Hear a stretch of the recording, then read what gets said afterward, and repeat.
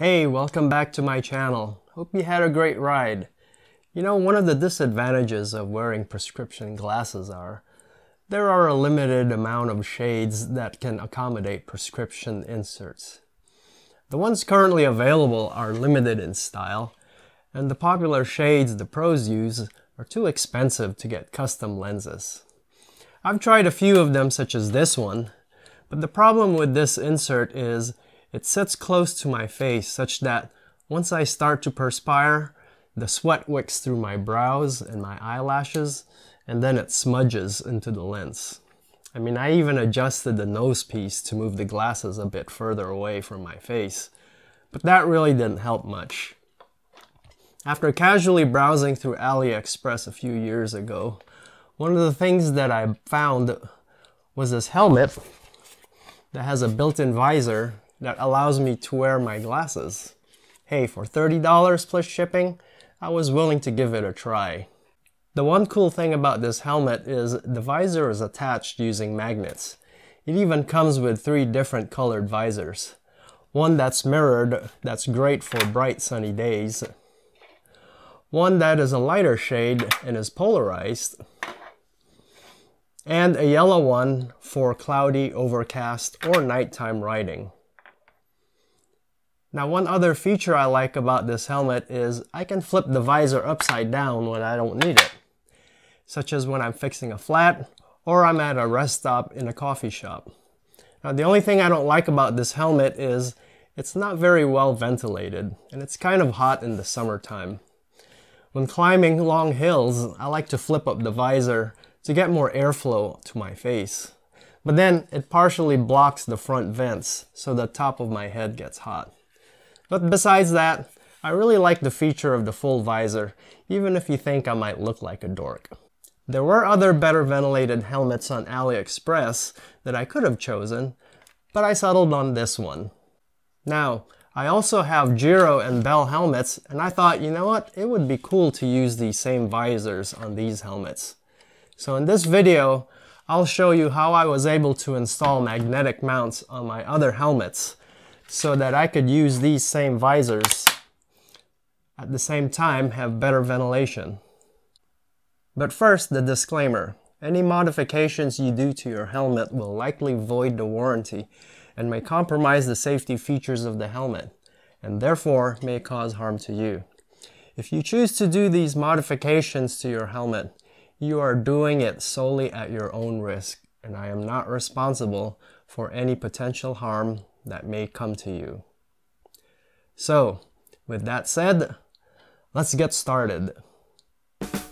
Method 1 is quick and easy, but it is temporary and not very clean looking. But it does work if you just want to try it out. First take your visor and see where it best fit on your helmet. On this Giro Atmos helmet, the center magnet fits nicely on the front lip of the helmet. This will be our first hot glue attachment and will establish the center line of the visor. You'll need some magnets like these. These neodymium magnets are extremely strong and work well in this application. I bought these at my local Home Depot, but they're also available at your local hobby and craft store. Go ahead and attach the three magnets to the visor and leave them there. This ensures you have a proper polarity of the helmet mounted magnets.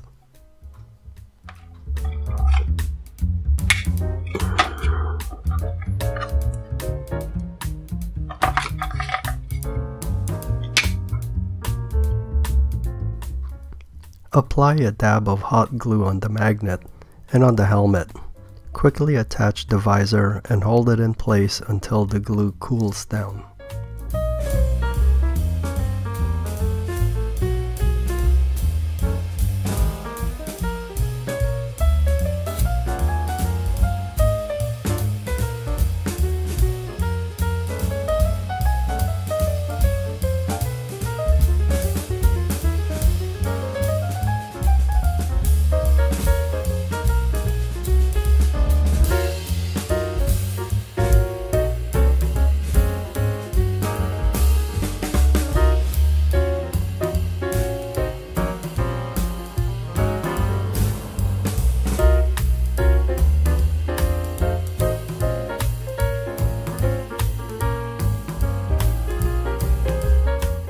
Once the glue has cooled down, gently slide off the visor.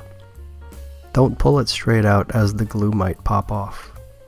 Now go ahead and add more hot glue around the base and sides of the magnet so you have a secure fitting.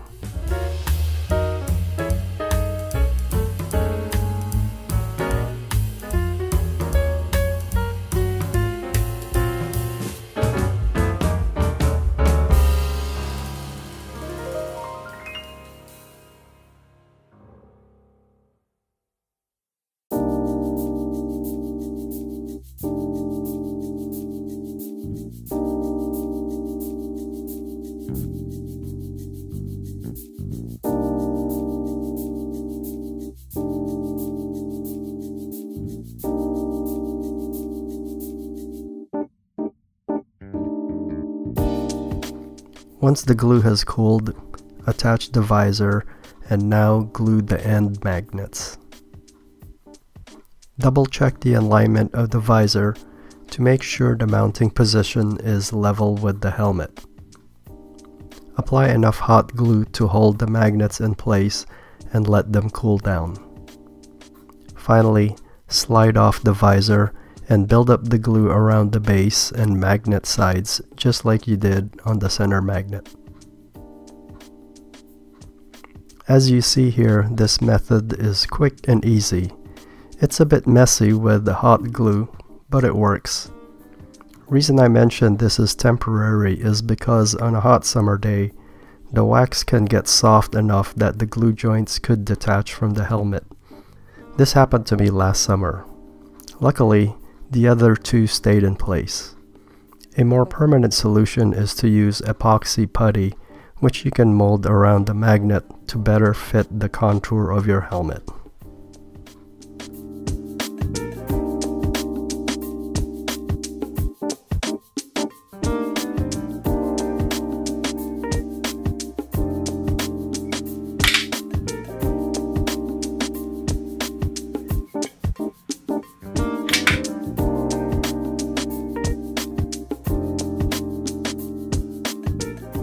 Method 2 uses a tab in which the magnet is glued onto.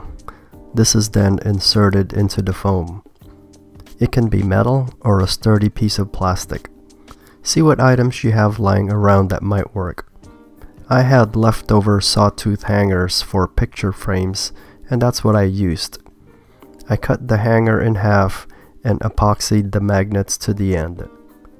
Next, using a hobby knife, I created three incisions into the foam and inserted the tabs.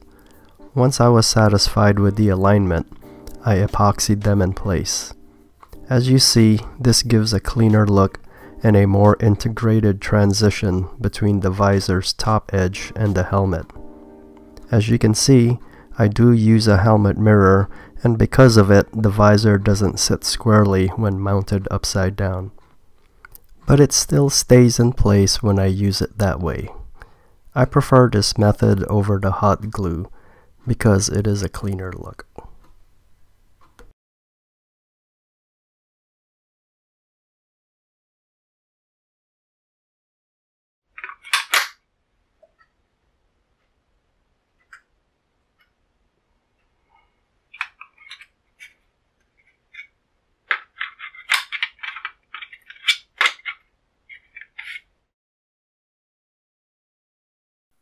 And there you have it. With this hack, I am able to use the visors on my other helmets that have better ventilation.